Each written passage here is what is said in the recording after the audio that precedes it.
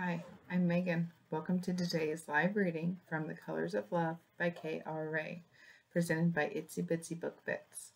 Join me. Prologue, May 2001. A cop car, lights blazing through the night, sat empty at the bottom of the pathway to the point when Lance Dunn parked behind it. God, please don't let me be too late to help my girls. Erupting from his car in a flash, he sprinted up the pathway to the private garden lookout. The incline wasn't that bad, nowhere near as taxing as running the bleachers during training camp. He could crest the top in no time flat.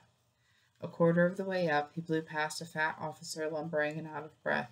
The officer's reflexes were as slow as his pace because he only managed to huff out a weak, wait a minute, son, as Lance's back at Lance's back after Lance rounded the next bend.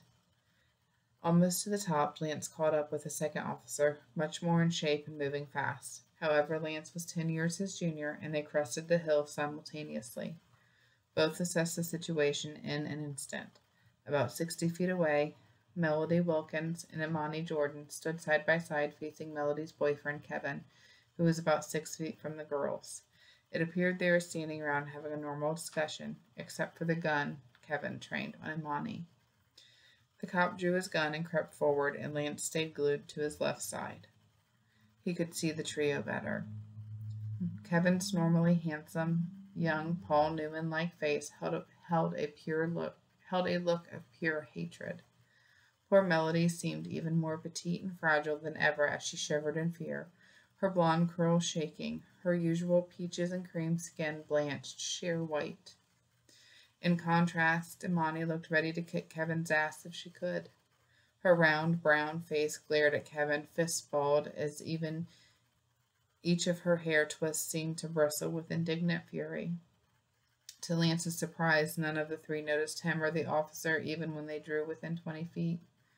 The cop halted Lance with a hand gesture before he addressed Kevin. Son, put that gun down. His voice thundered through the still night. You don't want to do this. We can work this out without anyone getting hurt. All right, son? The officer target, targeted Kevin's shoulder. Lance stood still as a statue, not wanting to distract the officer. He figured the cop was a good shot, though. Based on his nonsense, based on his no-nonsense mannerisms and steady stance, he didn't look like he missed much to target practice. Kevin glanced their direction, but kept the gun honed in on Imani.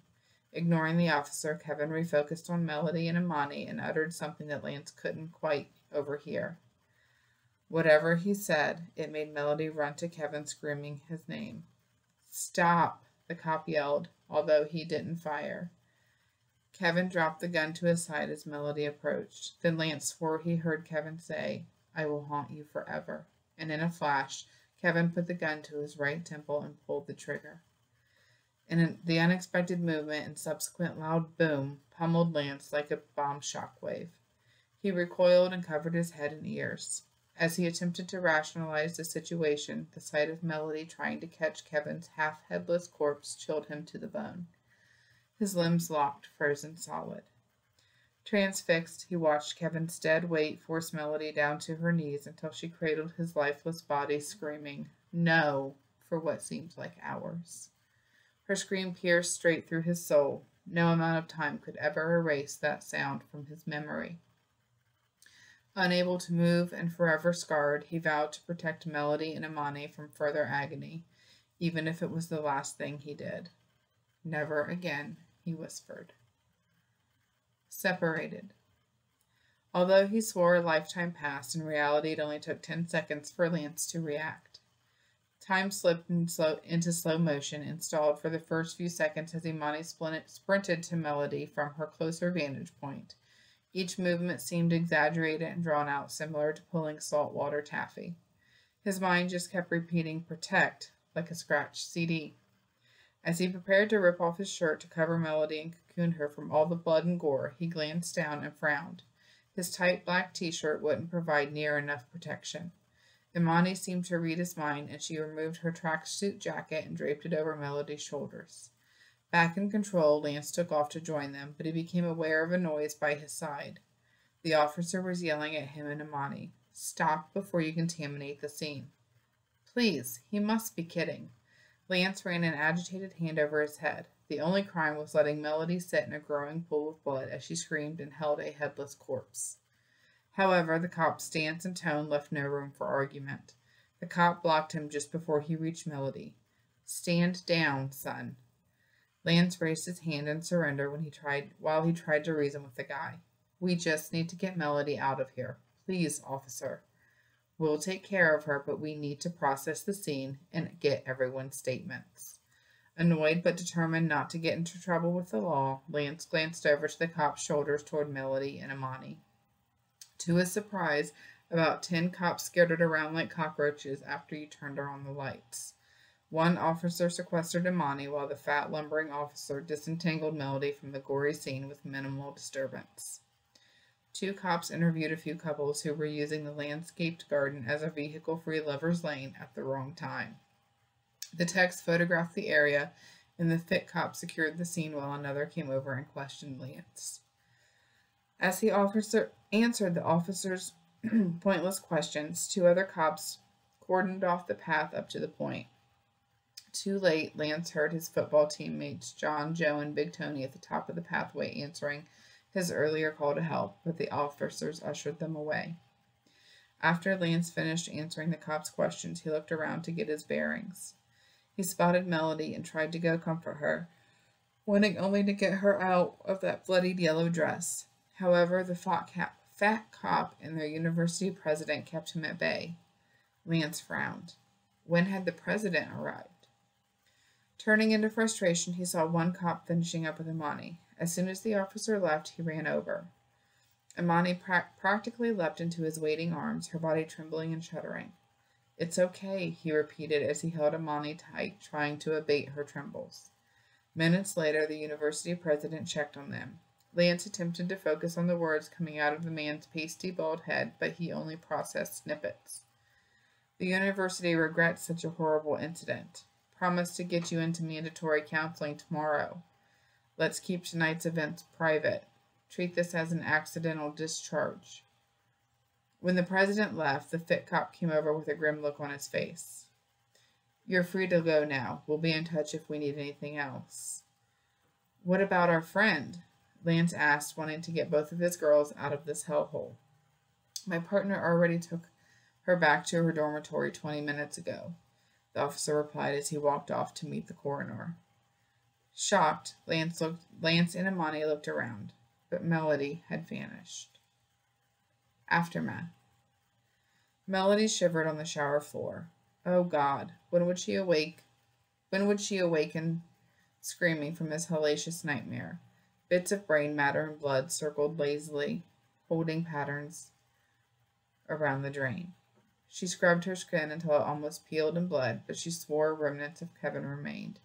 She studied her wrinkling skin. It looked like alien tissue under a microscope. Her shivers intensified. When did the water turn ice cold? Somehow she hoisted her non responsive body up into a standing position and turned off the shower. Blinded by a continuous stream of tears, she found herself shivering on her bed, dressed in her warmest pajamas. How? With her bedside lamp on its lowest setting, its dim light failed to illuminate anything past her bed. She looked around her dorm room, but it offered no answers. It didn't matter. She snuggled under the covers. She would never feel warm again. How could she when Kevin hollowed out her insides and ripped her heart to shreds? Stupidly, her mind replayed Kevin's final words I will haunt you forever. And a new onslaught of shivers convulsed throughout her body. Why? Why would Kevin kill himself? And those words, those horrid words. I will haunt you forever. She shook her head violently. Kevin hadn't meant it. They locked eyes, and she knew in the last millisecond Kevin didn't want to pull the trigger. He loved her.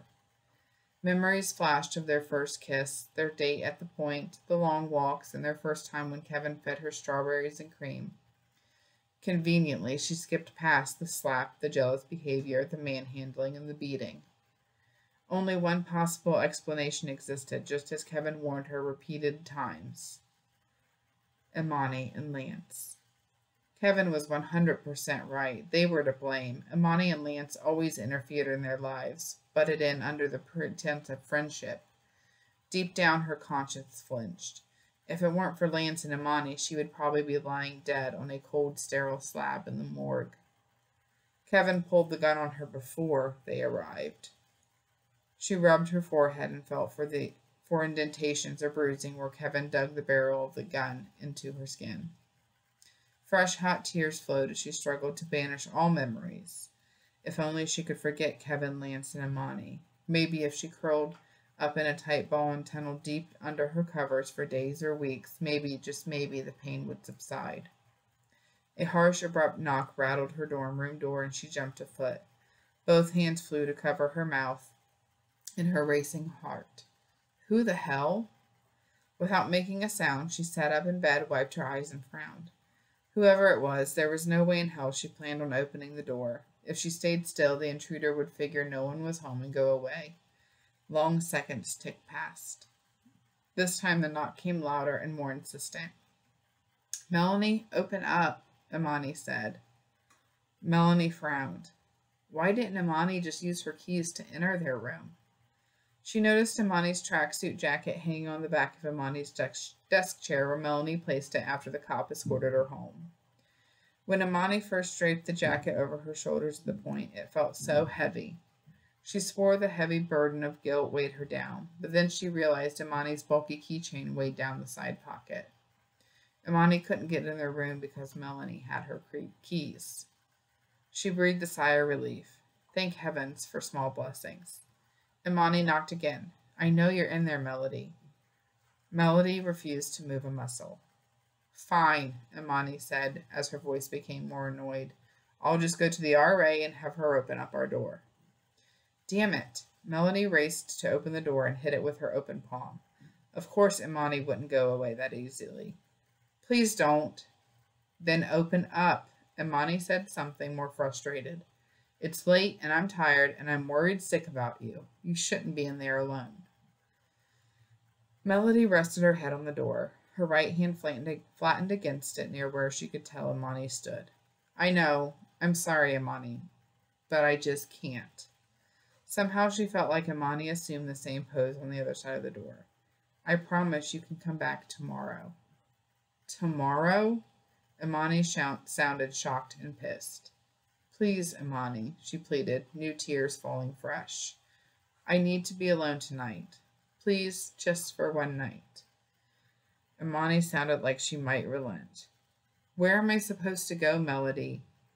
Imani hesitated and her voice deepened with concern. What about you? I don't think it's wise to let you stay by yourself after everything that's happened. Melody almost couldn't speak through the tears that felt like a, fell like a waterfall.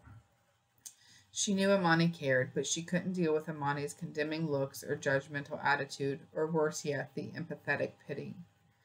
I know what you think, but I promise I'll be fine. I just need time to process this alone. Can you give me that time, please? At her breaking point, she clenched her eyes shut and whispered, God, please let Imani relent.